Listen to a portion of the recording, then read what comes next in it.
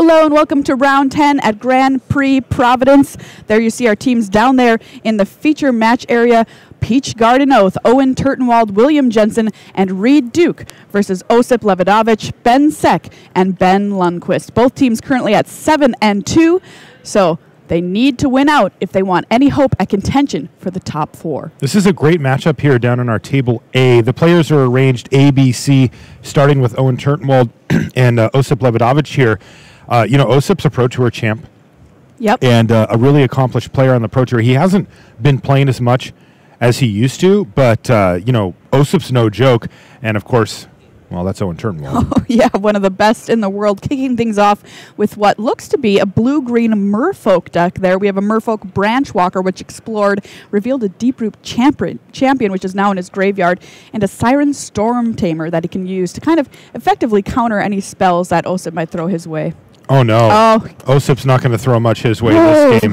This is a very quick start from Turtenwald, and it is met by miss a land drop discard from Osip, and this is going to be real trouble. And once again, Wow. Owen's firing on all cylinders, hitting once again with an explore creature. Yeah, Tishana's Wayfinder there, getting a counter here. Osip has managed to find another land, which, if you keep a hand like that, you hopefully have a pretty low curve. We'll see what he uh, put into play here. Yeah, we get a little hint of what he's up to. He discarded the uh, dinosaur up there, and then now we see Drover, Drover. the Mighty, right, which is another dinosaur-centric card. Although it doesn't only go in the dinosaur deck, that's of course where it's best. The truth is, though, it's just going to be too late here. Yeah. He can use it to add one mana of any color to his mana pool. Gets plus two, plus two as long as he controls another dinosaur. So we'll see if he uh, will be able to hit another land drop or perhaps play something on three here to stem at least a little bit of the bleeding from Owen Turtenwald. But Owen has just been off to a blazingly fast start, even laying something down here like a River Sneak, which gets plus one, plus one when you play a Merfolk. Seems like it'll be great in his deck. Yeah, one of these creatures is does stand the chance of dying here to the Atzocan Archer. All right, it's going to target the River Sneak. Yeah, and this is a choice that Owen does have the ability to counter that ability uh, with the Storm Chaser. You can counter spells or abilities. It's just a matter of which one Owen would prefer to keep on the battlefield. And it does make sense to do what he did here, given that the Archer has reach anyway, and that Storm Chaser wasn't going to be able to get through. All right, well, the team swings in here for Owen.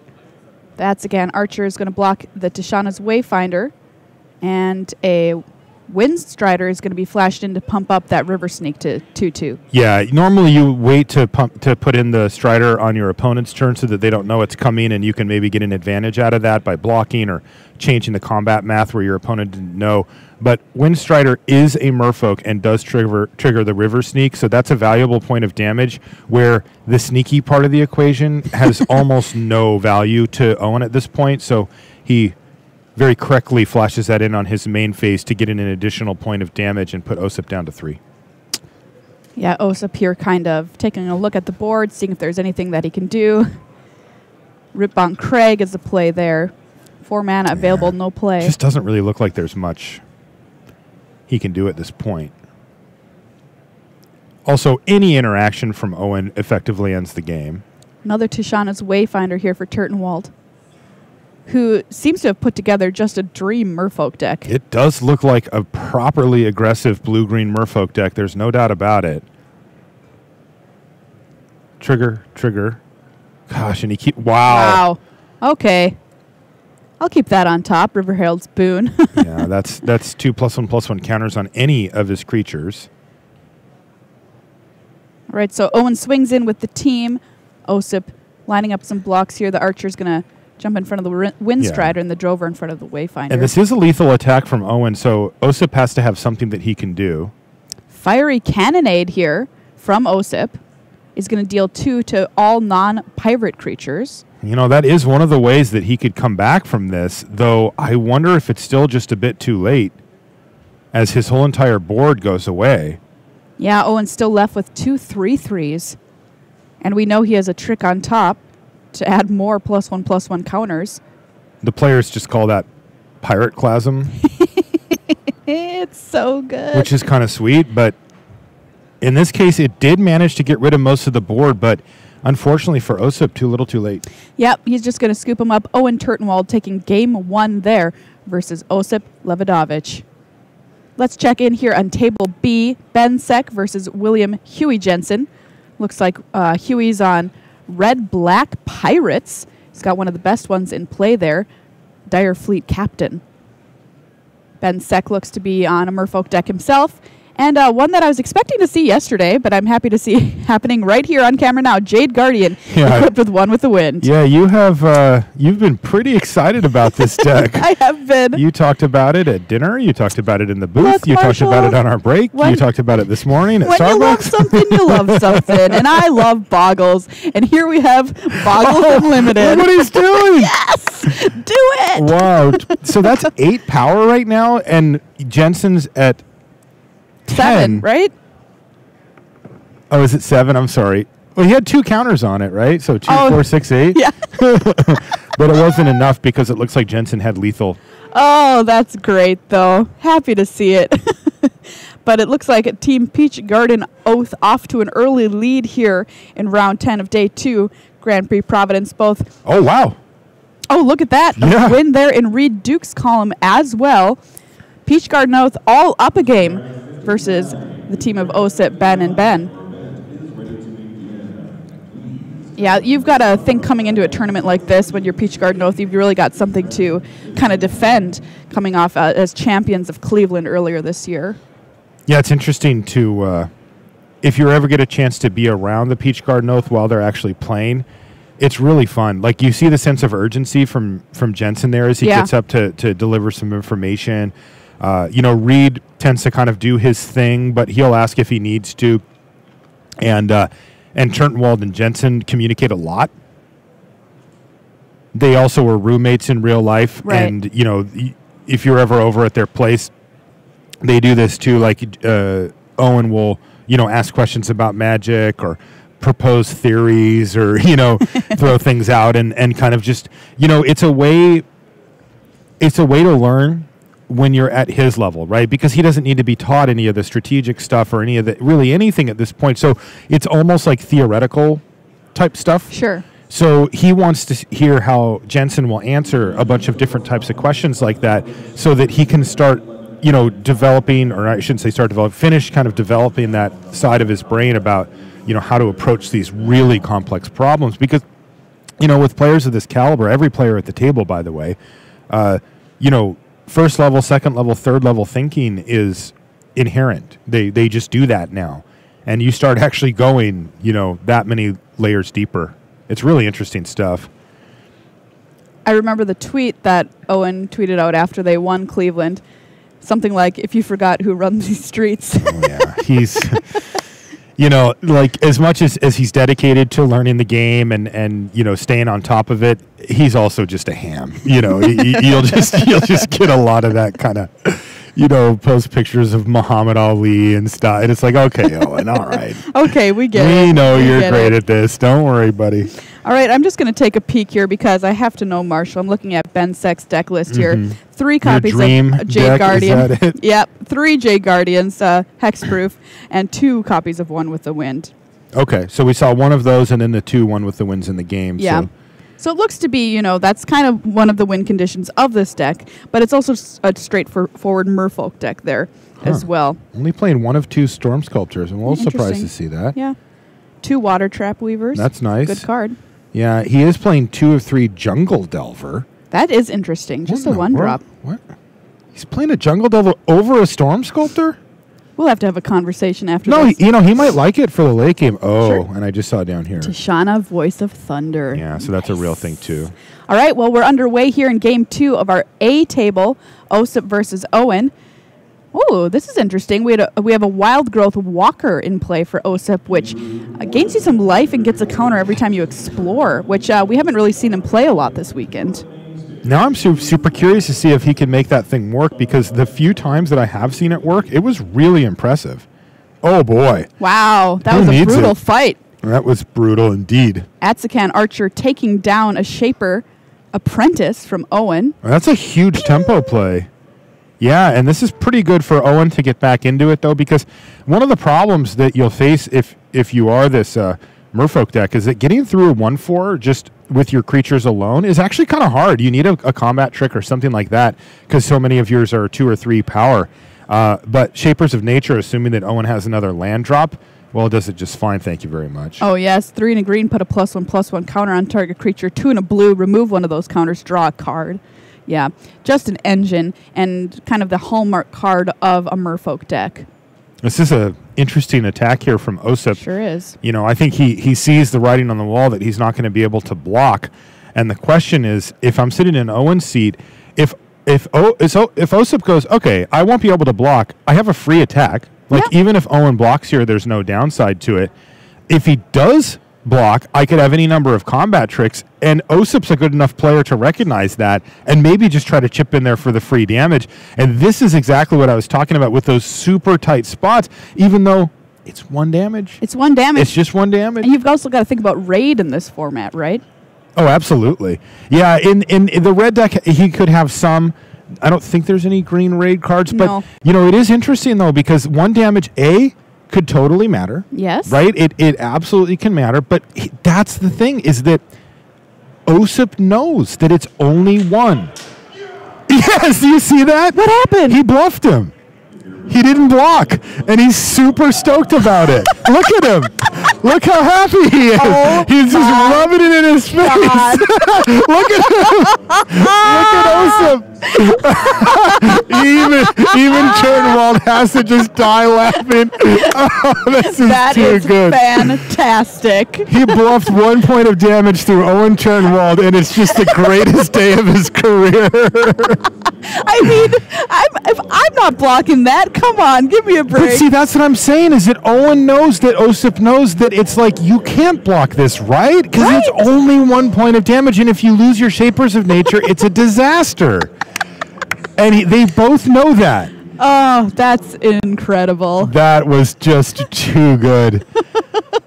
you know, I have to tell you too, Osip Lebedowicz, he comes from a time in Magic that's different than it is now. Yeah. the players were as a group younger and a bit more brash a little bit less mature and they there was a lot more trash talking and a lot more um try, trying to like uh, bully intimidate you know i don't mean it in like a over the top sense Sure. but you know make it so you make a mistake because of the way that i'm talking and playing and stuff now osip he you know he plays pretty like that was for fun Right. like Right, he was having right. fun with that but you know he's more expressive you know and that's how people were back then uh, compared to now they're very stoic these days that Yeah. that's uh, sort of the mo from the from the pro community Oh, that's so funny. and i have to say it's a much it's a much more inviting and polite place to be these days but you do miss a little of that flair you know that you see from from The flash and trash, as it were. indeed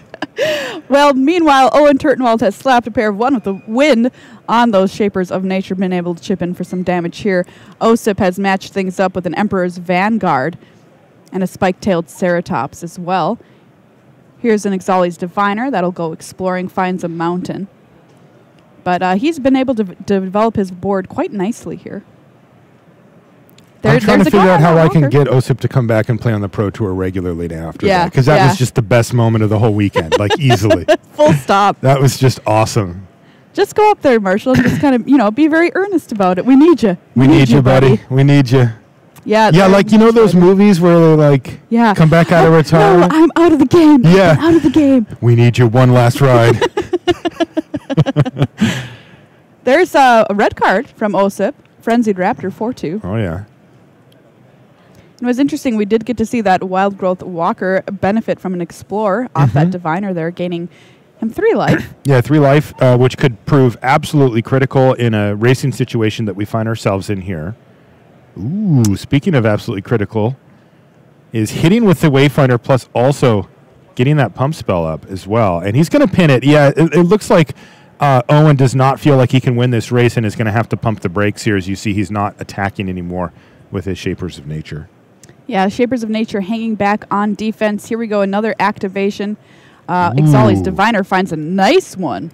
Yeah, Colossal Dreadmaw Right now, Osip does not seem to have enough mana to cast it. So it's the big question is, sorry, is if he's got, um, you know, another land in his hand Sure. to play.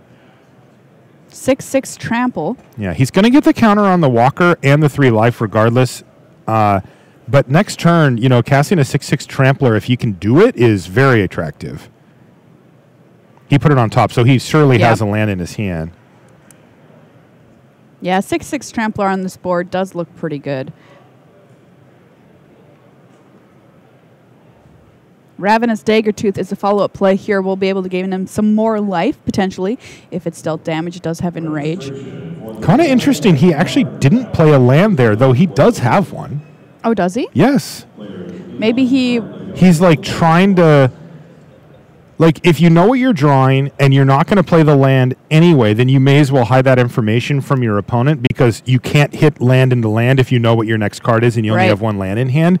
But that kind of, you know, level of thinking is really cool. Right, because he, Owen could think, well, maybe he put the six six on top. He doesn't have the land, but he thinks he'll draw it eventually. Exactly.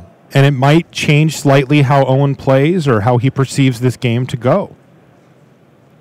Yeah, uh, when when you play your land drops is kind of one of those next level up um, strategy scenarios for Yeah, and players. here was a particularly niche scenario given that both players knew the top card of OSIP's library. That is just not something you see that often. Right. You know, Explore, of course, does make that happen fairly frequently now. But I, I can't tell you, the, the the mind games that these two are playing against each other is so fascinating.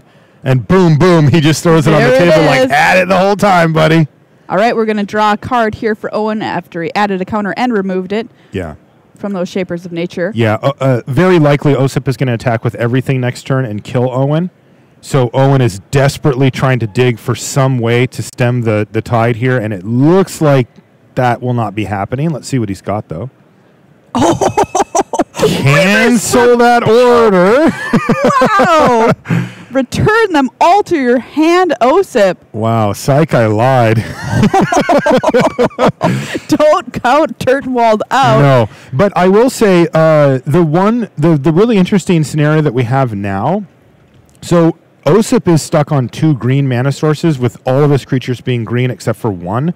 So, like for example, he could just replay the Colossal Dreadmaw, just go. Yeah. But he also could play the Wildgrowth Walker and the Ixalli's Diviner, Gain gain three life, life, yeah. you know, and get that train rolling again. But he's really would love to have seen a forest off the top of his library so that he could spell. Oh, There it is. So he could cast three spells this turn. Meanwhile, an update from Table B Ben Seck has tied things up with Huey one game apiece. Hexproof. Hexproof Guardian gets the job done. You know, I I think if I were you, you should back off on it because I have a feeling that in about a month. People are going to be real sick of getting Oh, thing, yeah, and you're going to be like, "This is so fun! I love Yeah. this," and they're going to be like, "Maria likes it," Look, I've already lost to it like three times. and you still liked it. I mean, That's dedication. I love you just how you are, Jade Guardian, even if you're smacking me around. All right. And so this is Here a nice go. way, right, Yeah. for Osip to get right back into this. he's going to play his Wildgrowth Walker again, gaining three life each of those Ixalli's Diviners off of their Explorers. Both finding a spell, becoming one fours. It's cool to see the Wildgrowth Walker kind of in action, doing its thing. It really is. And it's a significant presence on this board here. It's a 3 5, and it just gained Osip six life yeah, in that last sequence. absolutely. You know, he also just hit hit, so he's got two Ixalli's Diviners that are also sitting at their 1 4 and really has given him the cushion that he needs to start getting those bigger creatures out next turn. There's a Deeproot Champion for Owen Turtenwald. Gets a plus one, plus one counter for every spell that non creature spell that you cast.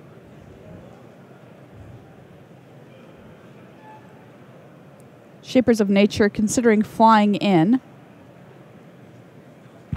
A lot of mana available to Owen as well, which Shapers of Nature, a really excellent mana sink for this deck.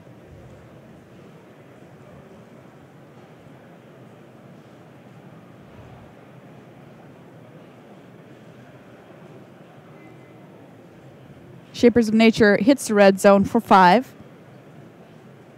I wonder if Owen can actually piece together a race from this scenario, though. All right, the team is just going to swing in here for Osip.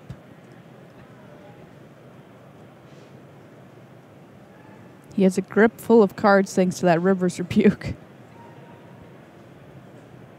Can develop back out his board potentially, lay Yeah. some blockers. Looks like Owen's going to go ahead and take three damage here and go for a double block on one of the diviners. Hmm.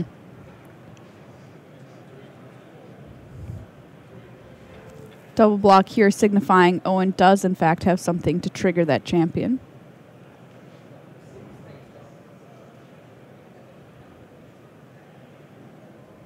Osip on 10, Turtenwald on 9.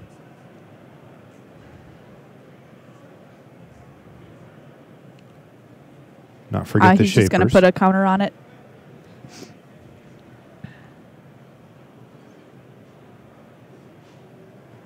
All right, so uh, Osip does have to win this game. Reed Duke has won his match uh, versus Ben Lundquist Oh, there wow. on table C. Unless Ben Seck wins his game with. Hu- would also have to win his game with Huey. So we see a post combat uh, Atzocan archer, and that was going to fight to finish off the uh, the two toughness creature, which had already taken one. But looks out, lookout's dispersal is a trigger for that card and puts a plus one plus one counter on it, which means that it's actually out of range. And that's a pretty big swing back in Turtenwald's favor. Lookout's dispersal, of course, canceling a spell unless its controller plays four. Costs one less to cast if you control a pirate, which Owen does not. Yeah, the interesting part about this as well is that if Osip pays for it to keep the Atzocan Archer, uh, he will be tapped out with one creature, and Owen has lethal. So what that means is is that Owen, let's see, he can go uh, three, five, six, seven, nine. He can get in for nine total if he wants to dump all of his mana into his flyer. So not quite enough. But if Owen has any way to interact, he could get in. He also gets in for five, block that thing, seven. Yeah, it's just nine at the most right now. But that also leaves Osip pretty all in on one creature. Uh, again, any bounce spell or anything like that would, would end the game. Oh, what a scary position here for Osip. I thought there was no way Owen was winning this game before that Rivers Rebuke.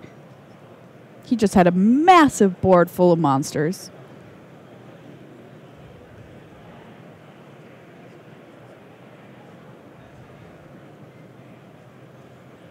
My first draft of the set, I had two Shapers of Nature in my deck. Wow, nice work. Oh, yeah, it was great. Was it awesome? Oh, yeah. Yeah, that card seems quite strong, especially at this stage of the game, right? yeah, you can just feel free to put counters on things if Mhm. you need to, draw cards if you need to. Does it all. Yeah, it looks like he is going to go ahead and keep the uh, Atzocan Archer by pain. And no, no reason to fight. Again, this is Owen's game to win, though, now. If he has any way to get that Archers out of the way or get any extra power beyond one of the activations of his uh, creature, then he can just win on the spot. He is so close right now. And you mentioned it a second ago, Maria. If he wins his match, the round goes to Peach Garden Oath. Yep. Owen out of cards in hand. Two activations potentially of plus one plus one counters on the table there for Turtenwald.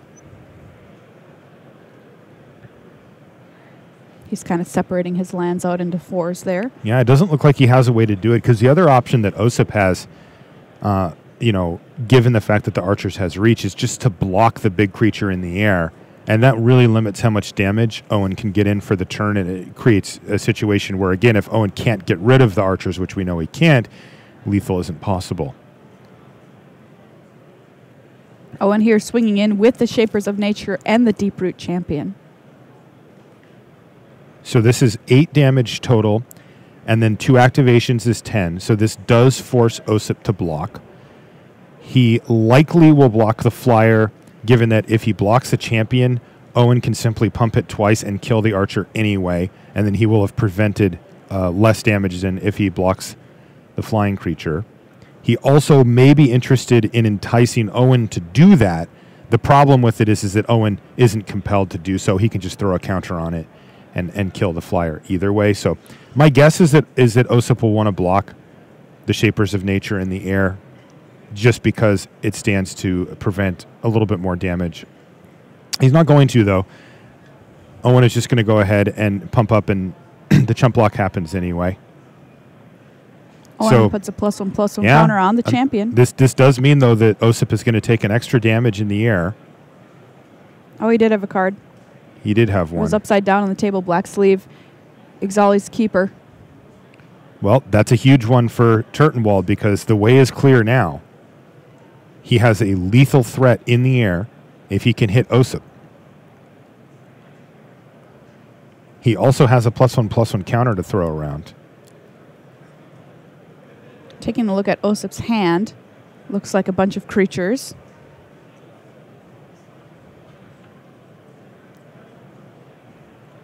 He has a ravenous dagger claw, dagger tooth, excuse me, in hand, which does have enrage to gain two life potentially.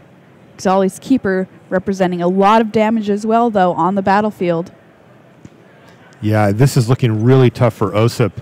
With two blockers back, even with one, Osip did, did not have lethal. He's got three power on the Walker and one power on the Diviner. So he would have needed to find a way to get an additional point of power through to Owen through just the, t- uh, the Wayfinder. But the Diviner, excuse me, the uh, Keeper makes it even more difficult. Yeah, lots of ways for Owen to push through more damage here. Sitting on the table. Yeah, it looks like Osip's just going to extend the hand there. The writing was on the wall. Peach Garden Oath picking up a win here in round 10, advancing to 8 and 2 into round 11. So they've got to, like you said, Marshall, they've got to win out if they have any hopes of top fouring here at this tournament. We did not get a chance to see Reed Duke's deck, but maybe we'll see it a little bit later in the day. But boy, did he win, win quickly. Oh, yes, he did. Let's take a peek here on table B. Ben Seck, and uh, well, he's just going to extend the hand there. With Huey's got a red black pirate deck. We saw a little bit of it in action, but not a whole lot. There you see, uh, we've got some players hanging out on the left side of your screen. That is our time walk match, which we will get a chance to see. Jansen, Golfarb, and Greg Orange, the citrus assassin. I love their team jerseys too. Just great. Just great. Versus Nagy, Peebles Monday, Jarvis Yu coming up a little later. Walking away. But that was uh, some that was a really interesting game to watch there, I loved, Marshall. I, I loved every minute of that. it was fantastic. There was some fun little mind games going about the type of minutia that players of this level tend to get into. That you know, we saw that that exciting bluff of one damage and Oh, those type yeah. of plays. All right, well, we'll have our time walk match for you after these messages.